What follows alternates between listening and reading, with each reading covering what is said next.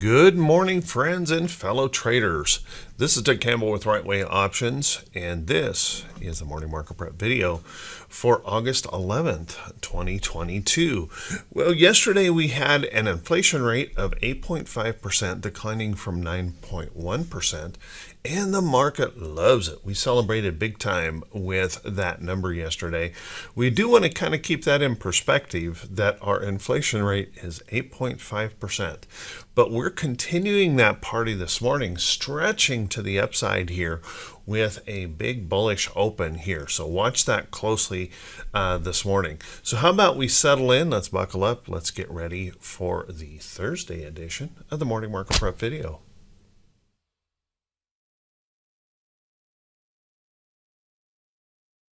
Good morning once again, everyone, and thank you so much for being here. I do truly appreciate it.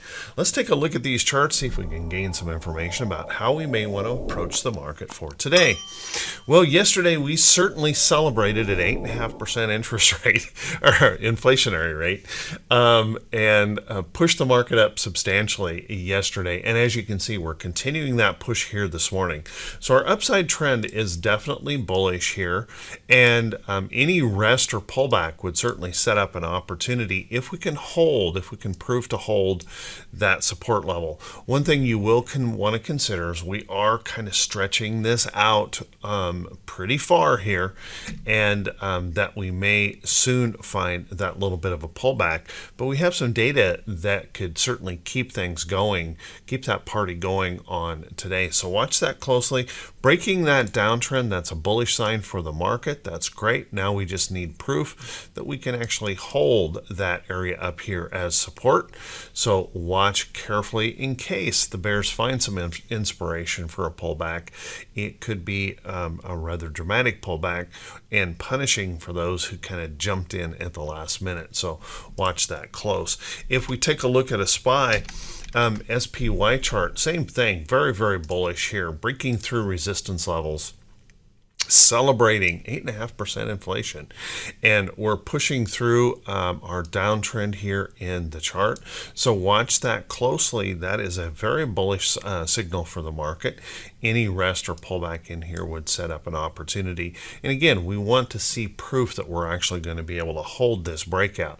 We've had these breakouts before in the charts and then it reverses and does not hold this may be a different circumstance, and there certainly is an awful lot of hype surrounding um, this market at the moment. So let's take a look at our QQQ. QQQ also moving to the upside pretty substantially, and as you can see, running that bullish trend, breaking the downtrend here. Everything is bullish here, so watch for that little resting pullback in here, making sure that we can hold these support levels in the chart, and then I think we've got an all clear sign for an upside move for the upside move to continue in the market, assuming they can hold. And then if we take a look at our IWM, IWM also very bullish here, pushing through to the upside. As a matter of fact, the most bullish of the indexes yesterday. But I do want to point out and go back here um, and point out that as you can see, um, although we popped really hard yesterday, you'll want to notice that our volume still remains um, weak, kind of surprisingly weak. I don't know. Um, it, that that bothers me a little bit. Um, it, it's not a game changer for me, but it does bother me a little bit that we can't seem to follow through with um, substantial volume on this rally. And that does make me worry that institutions may not be showing their complete support to this rally just yet. So watch that carefully. We do want to keep in mind it's a very, very typical pattern, and we've seen this many times before, where we get a substantial rally like we did here in, in 2020, and then we get a substantial pullback as well. So you want to be watching for that possibility. And if you look for other market bottoms, um, you will often see either inverted head and shoulders patterns or double bottoms um, being placed. So watch for that possibility. Can't rule that out, but right now the bulls are definitely in control. Let's take a look at our VIX. Our VIX made a big move yesterday, dropping sharply and really extended into the close of yesterday, and we can see with the gap up this morning, we're probably going to continue to decline here. Now, my worry once we uh, cross down below the 20 handle, remember, inflation rate is 8.5%. Bonds are inverted. We've got issues here in our economy for sure. We've got China slowing down. We've got Europe slowing down. We've got the UK actually um, going into recession. They've admitted it. And several other countries out there with pretty tough problems. And remember, our consumer is very, very strained. 8.5% inflation. So keep an eye on this. We may be getting just a little bit uh, complacent here, um, considering sure, certainly it's it's nice to see that what the Fed actions are doing are bringing that inflation down. That's what we want to see, and um, we also want to make note that we are a long ways away from stopping um, rate increases here in the market and stopping the roll off of the balance sheet and tightening of money supply. So you'll want to keep that in mind. We may be getting just a little bit on the complacent side here as we party um, here in the market. Let's take a look at our T21 22. Our T21 22, man, oh man, we continue to just stay very, very elevated, and we're going to gap up this morning, probably pushing us very, very close to the 100 level in T21 22. We've seen that once here recently, uh, where we pushed up into that 100 level and then got the immediate pullback. So watch for that possibility. I'm not saying it's going to happen but watch for the possibility of a pop and drop this morning. We'll see if we can follow through after the market opens with this gap up open, but watch for that possibility because as we stretch up here, we're running out of that upside um, opportunity. So be very, very careful. Now, if we take a look at our T2107, T2107 also did a nice job yesterday, stretching up, and we're pushing up here, trying to break through that downtrend. Now that we have done that, we want to see if that pullback that is likely to come in the market at any time um, will actually hold um, this area of support so we can push through. And that would really change things here in the market uh, dramatically into a full on bullish mode.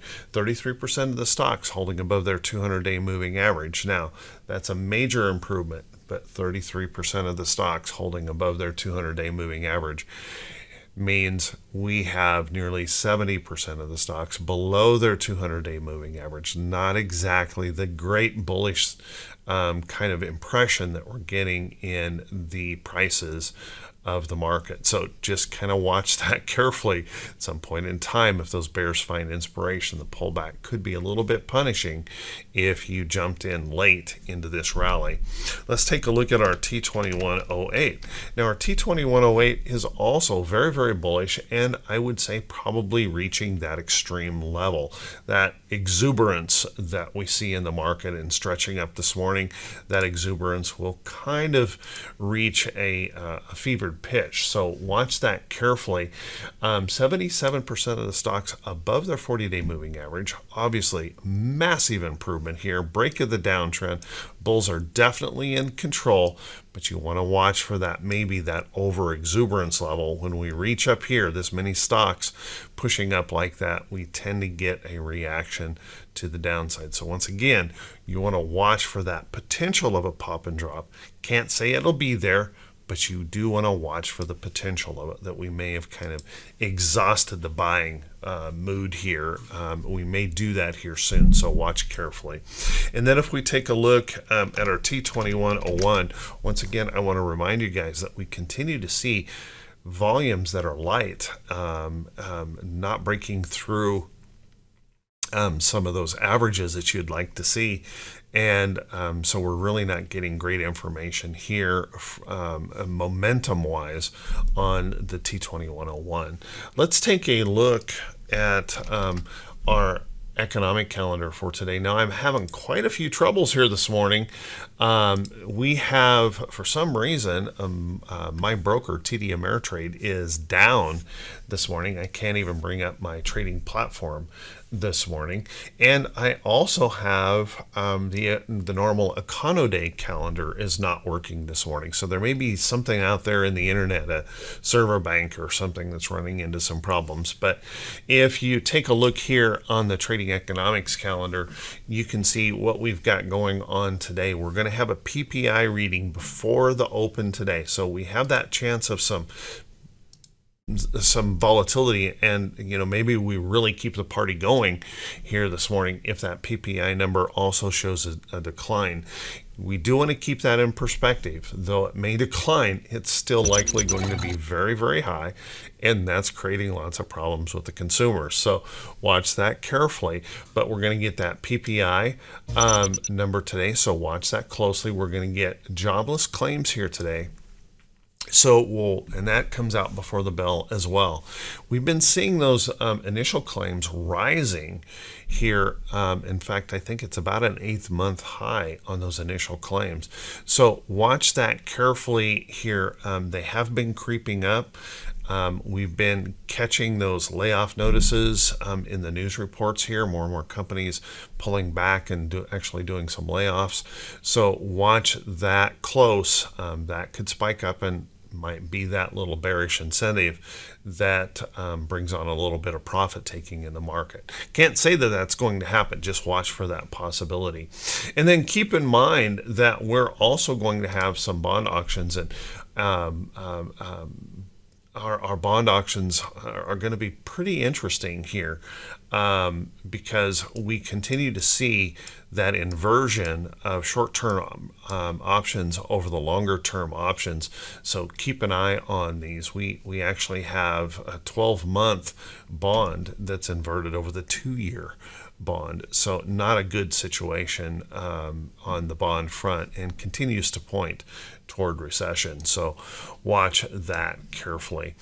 Um, let's take a look. We have on our earnings calendar a busy day, but not a super busy day. We've got over 200 companies listed, but uh, the notables in that list are considerably limited, um, we're starting to pull back on those notables. But if you want to catch the full list of notables, make sure you click the link just below the title of the video. That'll take you back to the full list of notables for this morning. And I'll go through several of them here today. Um, Baidu uh, will be one to be paying attention to here today. Baidu will be reporting. We're going to hear from Canadian Goose. Um, so keep an eye on that one. This has been breaking that downtrend, moving to the upside. Watch carefully for that. We're going to get um, Dillard's reporting today. Watch carefully on the Dillard's report. I don't know if this is the pre-market act. Oh, sorry, uh, guys, messed up there. That was a two-day chart we were looking at. So we're getting a nice pop there on Dillard's. Let's back up here. We're getting a little bit of a pop here on Goose and, um, well, just a little bit. I, I, can't say that that's the report. I don't believe it is. Um, just a little bit of elevation here in the excitement of the morning.